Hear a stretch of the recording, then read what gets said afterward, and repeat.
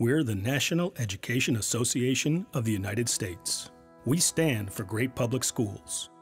We stand for over 3 million members. We stand for what's best for public education and what's right for America.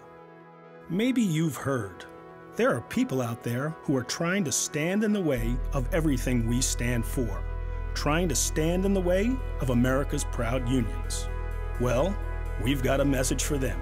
And for the next four days, they'll be hearing that message loud and clear. NEA is standing strong. We are